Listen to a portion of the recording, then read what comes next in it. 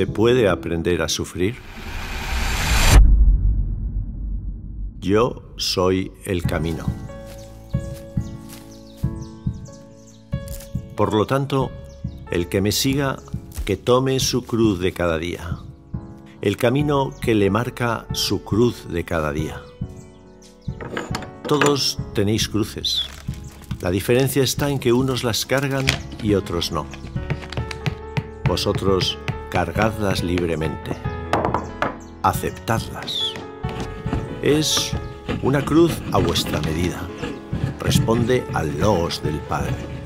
Padecéis según las Escrituras. Os necesito purificados por la cruz.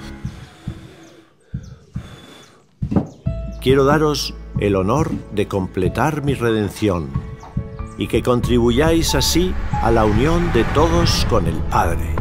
La cruz es una locura para los gentiles. El dolor les vuelve locos a quienes me ignoran. Y es sabiduría para vosotros.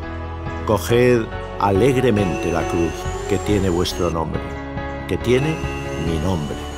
¿Aprender a sufrir quita el sufrimiento?